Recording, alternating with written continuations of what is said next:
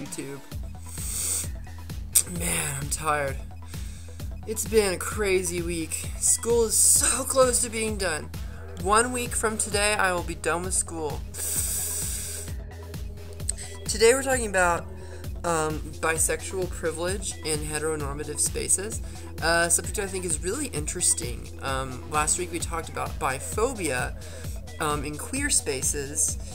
Um, and you know, this week we're talking about bisexual privilege you know, bisexuality, I think, for a lot of people is seen as novelty. It's seen as something that is uh, that is a fantasy that you know people will do when they want to be naughty, um, and it's not seen as a legitimate uh, way to be for a lot of people. For people in the queer community, I think it might be hard because they don't understand how someone might still possibly be a part of a heteronormative space and I think in the heteronormative spaces, um, they might not see it as something that is um, natural or something that is um, normal. I mean, you know, we have this perception that someone is going. You're you have one person in this world that you're going to end up with for the rest of your life, and that there's no one else in this world who can match that one person.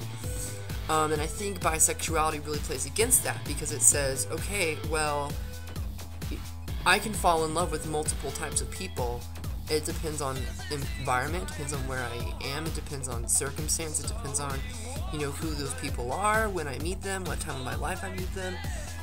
I mean, sure, a lot of times people end up with one person for the rest of their life, but that doesn't necessarily mean that there aren't other people that, given different circumstances, they could have fallen in love with. And I think bisexuality really um, really kind of goes against the grain of those ideas that there's that one person in this world who is for you. Um, because for bisexual people, it's like, well, you know, there isn't. There's, there's, you know, I, there's, mul- there's multiple um, avenues that my life can go down. I'm not going to limit myself to one, you know, one half of the human race. I, I give, you know, people equal opportunity or, you know, whatever. Um, but in a lot of straight and heteronormative uh, spaces is seen as you know fantasy, as um, sluttiness.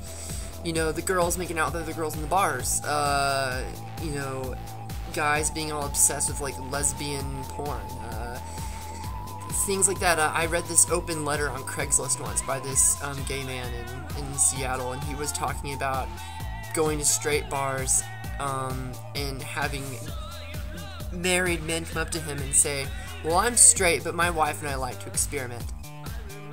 Like, you know, people really see um, queer sexualities as fantasy, and I think bisexuality might even, maybe even more so, because there is still the element of, well, you might be able to still play into a, um, an opposite gender pairing, but you know you have that there's that fantasy that you can end up with someone of the same gender.